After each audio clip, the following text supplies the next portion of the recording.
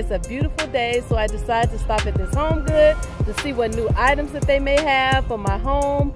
So please stay tuned as I bring you along and do a walkthrough of this Home Goods.